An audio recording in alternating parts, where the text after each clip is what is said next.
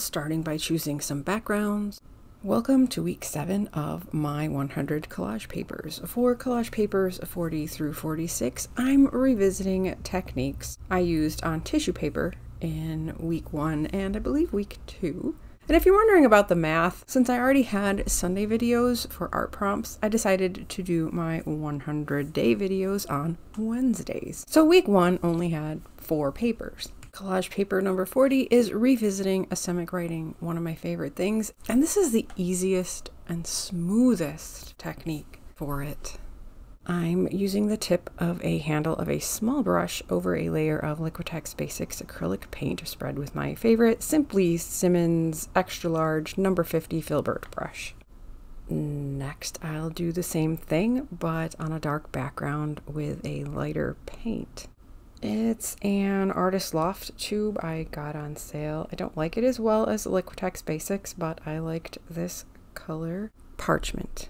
I'm going to have to get some unbleached titanium sometime. Oh, there was another color. I've seen someone use it similar to this that I was interested in. But for now, I should have covered my work surface. As is not uncommon for me, I put down too much paint. But it did create that ideal smoothness. It's so nice to just be able to move my brush through the paint. It's very easy on sore fingers. If you're unfamiliar with what asemic writing is, it is writing with no literal meaning. It can be therapeutic and looks really interesting. This background has a metallic sheen to it, and I wanted again to go with a lighter color. The parchment was too close a shade, so I added some Liquitex Basics Titanium White. When I do asemic writing, I tend to have thoughts of words in my head, and it allows me to write what I'm thinking without writing what I'm thinking, is a way I've used to describe it in my art prompt videos. For my 100 collage papers on tissue, it was number two. Number one was my most common tissue paper painting technique for my tissue paper collage, applying acrylic paint to a wet sheet of tissue paper. I started with my Liquitex Basics Phthalo Blue and Quinacridone Magenta. I'm comparing printer paper on the left to cardstock on the right. My spray of water and a good amount of slightly globby paint in my brush. Like doing asemic writing in a layer of paint, spreading the acrylic paint through water moves so much more smoothly. The papers lost some of their vibrancy in the drying process, and this really does work better for tissue paper, I think. I did create an accidental special effect with some water droplets which is a similar effect to what's coming next. But before moving on, here are some interesting effects I got with the water and acrylic paint on cardstock that I had crumpled up. I like how it has gotten dark in the creases. And the second one, I also splattered with paint that was still on my brush. And it doesn't just look like splatters, it also spread through the water.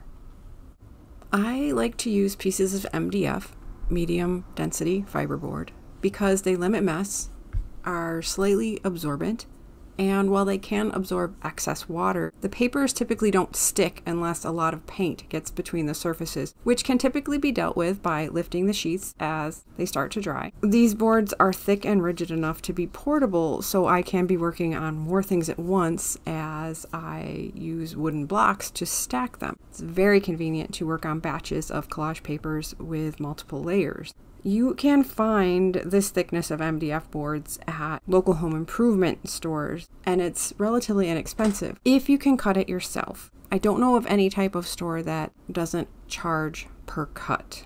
As you saw, collage paper 42 starts the same as 41 with water and acrylic paint. I didn't get quite enough water. This paint wasn't quite wet enough, so I added more water. And for this round, table salt. For both salt experiments, I continued to use printer paper and cardstock. This is the same as the table salt, but with coarse kosher salt. I realized I should work on one page at a time so they would be wetter. And you may be able to notice that there are two sheets of printer paper. I inadvertently found a way that helped keep my paper flatter. After the salt pages are completely dry, it's time to brush off all of the salt and check out the results. As I mentioned, these weren't quite wet enough, but they're still interesting. And as it seems like I've been saying a lot lately, they give you an idea of what is possible with the technique. And on to the coarse salt. Yes, the water makes the paper curl. Brush off the salt. This one didn't turn out as impressive as I would have liked either, but there are some good spots. This cardstock is definitely going to require some flattening and perhaps didn't have as much pigment as ideal. Moving on to collage paper number 43, which is alcohol. Starts the same with printer paper and cardstock sprayed with water. I am again using Liquitex Basics phthalo blue, and quinacridone magenta. Round one using a spritz of 91% isopropyl alcohol. First on the printer paper and then on the cardstock. Mixed results. Followed by the same process, but this time instead of just a spritz of alcohol, big drops. I just pour some in my hand and dribble and flick it on it would appear that my printer paper was a little too dry in most places. Cardstock goes a little better.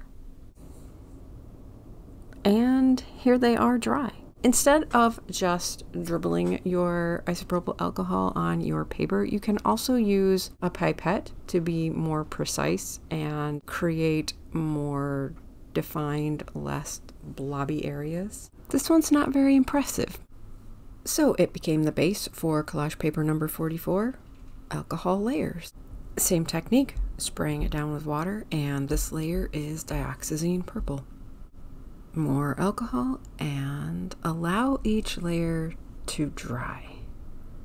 Yes, this paint layer was a little thin, but does enhance what we started with. Next is quinacridone magenta and dioxazine purple. It also turned out to be not quite pigmented enough. So I decided that instead of waiting for it to dry, I would just immediately add more quinacridone magenta. The paint didn't seem quite watery enough for the alcohol to be effective, so I added some water, spread it out with the alcohol and water again, and then added alcohol, which this time had more of an effect. I do enjoy watching it spread through the paint layer. Still didn't find this one particularly inspiring, so decided to try a thin layer of silver, which didn't turn out thin enough and wasn't watery enough for a spritz of alcohol to be sufficient. So yeah, it was better before the silver layer, and my silver craft paint would probably have been a better idea. I decided to do another round of alcohol layer experimentation and change up my color palette. Base layer of yellow, which I allowed to dry, brilliant yellow green, and okay, yeah, phthalo blue.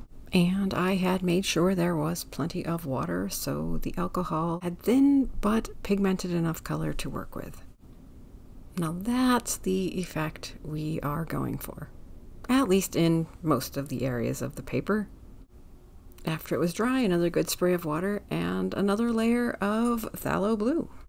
I don't know why the camera wasn't picking up how much of the yellow was actually showing, but look at these results. So cool. For collage paper number 45, I did some painted backgrounds, which I'm not including because, well, this video is already getting pretty long. I created the backgrounds to experiment with a black alcohol layer over color. I first tried straight Liquitex Basics Fluid Acrylic in Mars Black, my blacker black. As you can see, it was not watery enough. I decided to try to add some water to paint that was still wet enough to mix with it. And I think it would be fun to, at some point, experiment with having a layer of partly dry black to create that grungy look you see over the color. But that's for another time. I moved on to water and fluid acrylic with my background taped down with Scotch Delicate Surface Tape. Back to a spray of water followed by the paint. It looks really cool moving through the water. And yes, that inspired another experiment that failed, so I will revisit that in the future. Spread out the paint and add the alcohol. You can immediately see that it is having the desired effect. But again, the camera confuses me because this did look way more black, blacker in person. Since I know an expensive acrylic craft paint can work with the alcohol, that was the third experiment for this paper. Fascinating movement of paint through water again. And the acrylic craft paint performs quite well. It would probably look more impressive with more color variation like the previous page, but it's doing what it's supposed to do. Unlike the straight fluid acrylic, it has very distinct results, but not quite that of the water and fluid acrylic. In trying out something else that was going to take too long for collage paper number 46, I remembered I have black cardstock and decided, hey, why don't I try alcohol on colored paint on a black substrate? Bright spring green and some yellow and pink and, well, although it didn't look at it first, overall just too much paint. So why not bring something else back from this week? Asemic writing through paint. And the alcohol, although the paint is a little thick. So yes, so far, as far as the alcohol, having the black substrate isn't that impressive. How about some silver and some titanium white? But wow, yeah, I can already tell that's really thick. Let's try the brayer this time. Yeah, that is thicker than it is watery. But let's see what happens. Add some water to help the alcohol. Smooth it again. Alcohol again. I don't know whether to say this is more operator error or the black cardstock not being the best substrate. So onward. My cadmium yellow deep hue is pretty empty. I'll augment with some primary yellow before moving on to some quinacridone magenta, which I will, well, also running out of, but will lighten with light pink. Back to my favorite paintbrush to blend my colors. And yeah, I'm thinking I probably got too much paint again. Alcohol Yes, too much paint. More water and only the excessive excess paint in my brush. So the paint is watery enough for the alcohol to spread well, but it doesn't cover the paper very well. And you'll see in a moment, it dried even less pink. I hadn't noticed I had grabbed two sheets this time, so I took the page that had a little bit of pink overflow on it and used it for some of my silver acrylic craft paint, which got mixed with some of the paint still in my brush, and the combination did not work well with the alcohol. So working our way back through the results, silver, which looks interesting on the black, so I might do something with it again, but not with alcohol. As I mentioned, the pink is mostly gone, but there is some interesting effect from the alcohol. I accidentally skipped one here that the alcohol had very little effect on. But this looks interesting, though I don't know that the alcohol added much to that. But I guess it did contribute to the texture. And back to the asemic writing. I kind of like what the alcohol adds to this, where the paint isn't too thick for it. Thank you for joining me for this week's segment of my 100 collage papers. I will be back next week with seven more, and every day with a short for each of them, as well as my regular Sunday creative self care small art prompt to encourage us all to take time for art.